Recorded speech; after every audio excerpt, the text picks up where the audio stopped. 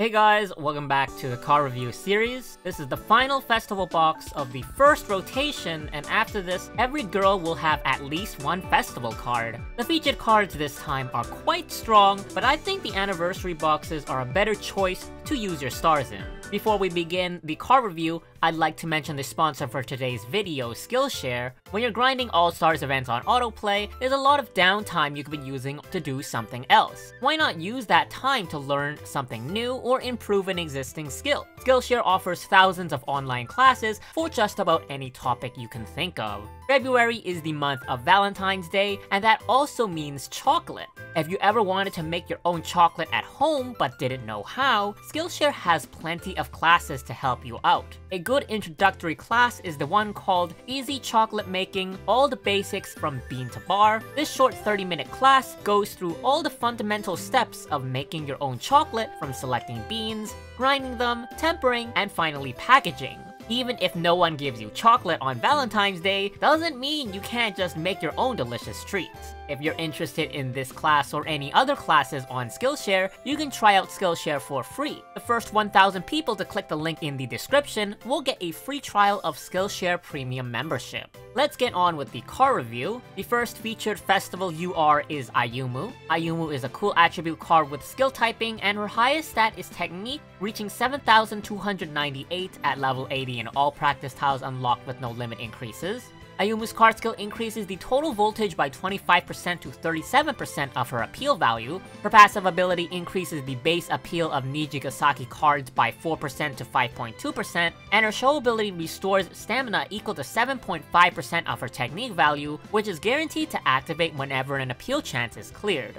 Ayumu is an offensive skill type card that can also heal you. Normally, when a card tries to do multiple things at once, it doesn't work out too well. But this Ayumu is a bit of an exception. While her skill typing doesn't make her as desirable to use as some of the other top tier cool attribute festival cards, she does benefit from the critical sense bonus, and that extra 15% critical rate does make up for it. That high technique value is also used for her show abilities heals, so a song with a lot of appeal chances would result in a lot of healing as well. Her show ability isn't strong enough to keep you in the green on her own, but it does allow you to use more offensively focused healer cards like Initial You, who would normally have trouble keeping green on her own. From an offensive standpoint, Ayumu is similar to the initial UR Maki since they're both cool attribute skill type cards. When calculating the effective appeal of both cards, Maki actually outperforms Ayumu when the critical power is set to the default 150%.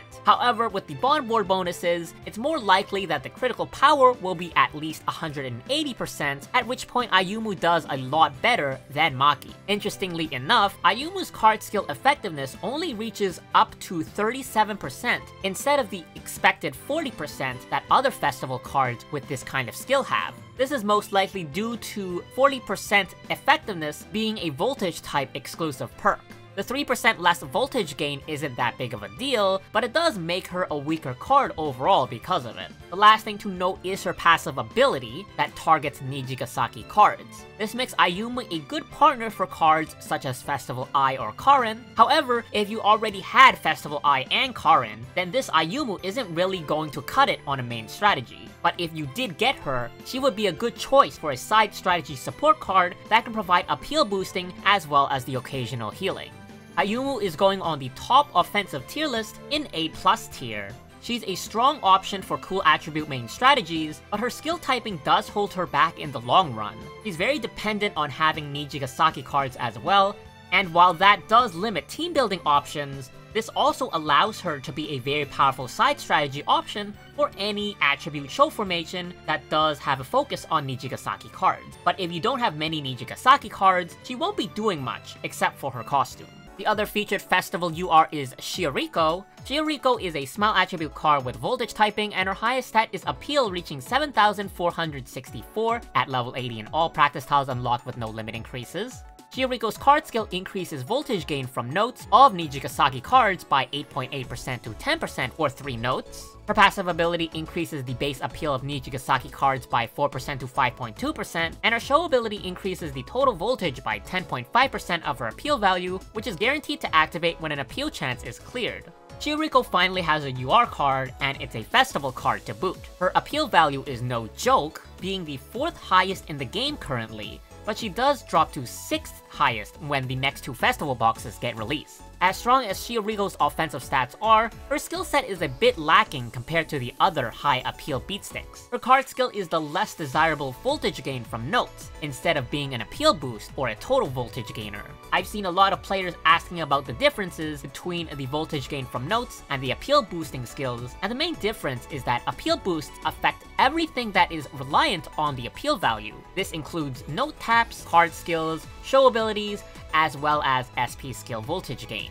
On the other hand, the voltage gain from note skill only affects, as you would expect from the name, the voltage gain from notes. This means that if a card was already reaching the 50,000 voltage limit from tapping a note, this kind of skill wouldn't do anything, whereas increasing appeal still has benefits for other skills that rely on the appeal value. This pretty much means that Shioriko is the kind of card that is very strong compared to other cards in their base form, but at maximum limit increases, her skill set doesn't provide much. On the other hand, cards like Shizuku and Rina with a total voltage increasing card skill become much more desirable to use due to their card skills allowing them to bypass the 50,000 voltage limit per tap.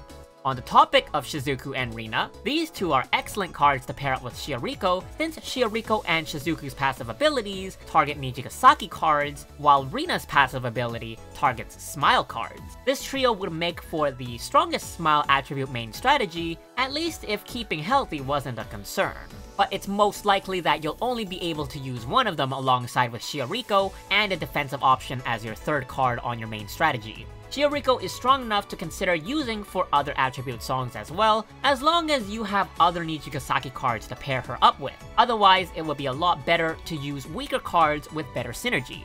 Just like Festival Ayumu, she can be used as a side strategy support card for a Nijigasaki main strategy, but she won't be providing much other than the appeal boost since her show ability is rather insignificant. Shioriko is going on the top offensive list in S tier, She's the strongest offensive smile attribute card in the game, at least in terms of raw stats. There's no denying her high appeal value, but Festival Honoka is probably better for general team building since she has strategy-based synergy instead of school-based synergy, allowing her to pair up with any card she wants. Also, if you wanted a max limit increase hyper carry for smile attributes, Shizuku would be a lot better, despite having a lower appeal value, since her card skill is just so much better. There's still the SR cards to talk about, and just like the UR cards, they're good but nothing too amazing. The first featured SR is the Yume no Tobira Honoka. Honoka is an elegant attribute card with skill typing, and her highest stat is Technique at 4340. Honoka's card skill increases the appeal of cards on the same strategy by 5% to 7% for 5 notes. Her passive ability increases the base technique of cards on the same strategy by 3% to 5%, and her show ability increases the skill activation rate of cards on the same strategy by 7% for 5 notes, which is guaranteed to activate whenever an appeal chance is cleared. This Honoka has over 4000 appeal and technique, as well as the critical sense bonus, and since her skill set is rather good as well, she's a pretty strong offensive SR card. The main downside is that she is skill type, which usually means not worth using even at maximum limit increases. But since she's elegant attribute and skill type, she's another good filler card for no brand girls when playing that song in DLP at least.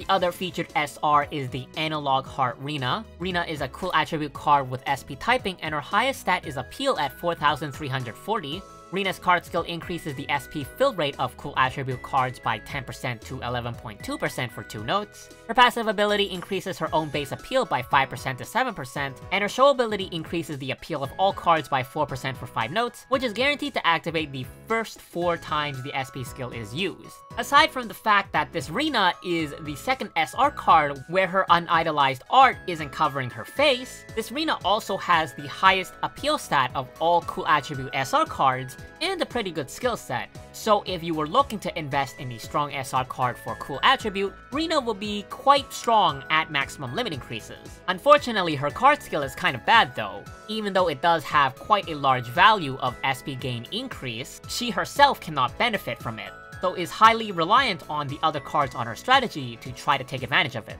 At the very least, both her abilities are appeal boosters, even if her passive is the greedy kind that only affects herself. There's a lot of stronger SR cards to consider giving maximum limit increases to first, like Snow Halation Kotori or the Sorewa Bokutachi no Kiseki Maki, so this Rina would most likely be DLP filler if you did get her. But if you really wanted a strong offensive SR cool attribute card, Rina is your best option.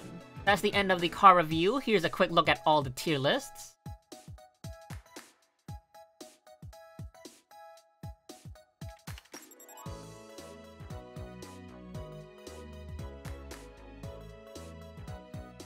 In case you didn't know I finally finished my All-Stars book, you can download this 600-page PDF by becoming a member of my Patreon and pledging $5.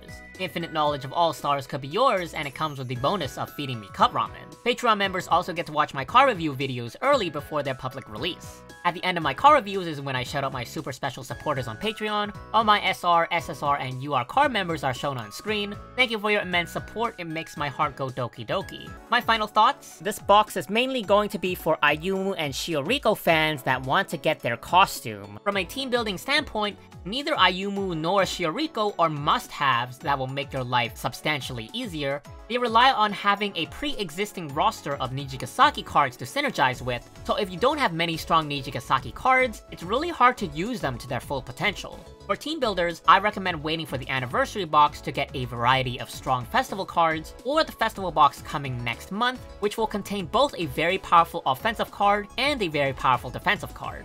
We're also going to see the first party UR get released on the Japanese version this month, so that might be worth saving up for as well, depending on how it turns out.